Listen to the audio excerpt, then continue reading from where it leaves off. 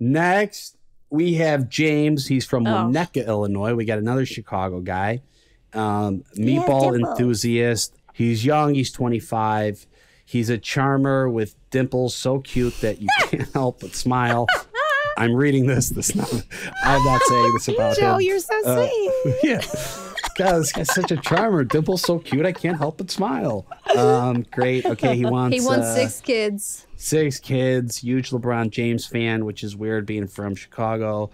Loves to water. Why, when he's one of the best basketball players in the world?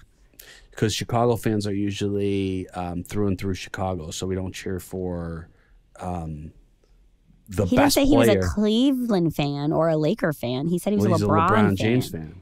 Oh well, well, you are, but you you also aren't aren't true to Chicago, so I don't know what to tell you. Okay, I'm not Loves- a LeBron James fan like that, but I understand that someone loves greatness. I mean, that that's just me. nothing makes James happier than a plate of piping hot meatballs.